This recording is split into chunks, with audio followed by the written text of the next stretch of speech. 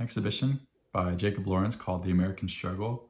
Talks a lot about uh, American hardships and struggles that it took for America to be what it is today. And one thing that this exhibit um, has viewers understand is that struggle is necessary for weak things to become strong. And some of the paintings that I really liked in uh, this exhibit, uh, the first one is called For Freedom We Want and Will Have, for we have served this cruel land long enough, a Georgia Slave by Jacob Lawrence.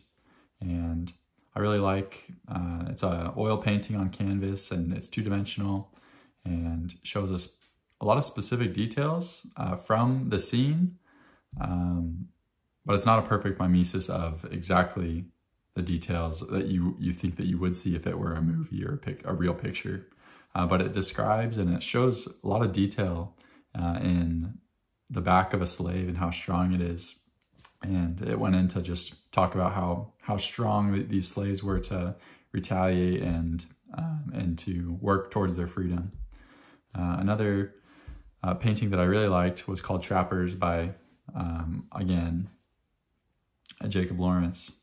And this is another um, painting uh, on oil can oil on canvas, and it it shows two recently killed elk, and their blood is kind of dripping from them, knowing that it's a fresh kill, and it kind of contrasts with the snow.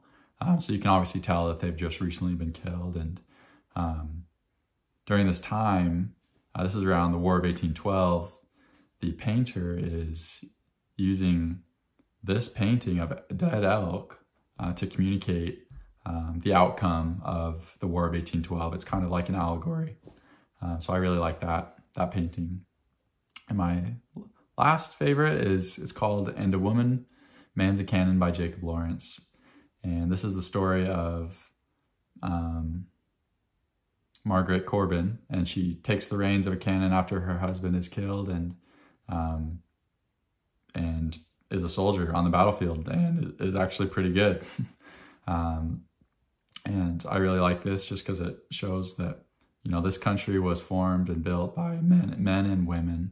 And the only thing that I could see that this exhibit could have been improved upon is it was online, it was virtual, and uh, some of the quality of the graphics weren't um, super easily visible. So as I was reading the descriptions and on the wall, it was a little difficult to see because it was grainy, but um, I really enjoyed this exhibit and um, I, I enjoyed seeing the different art pieces.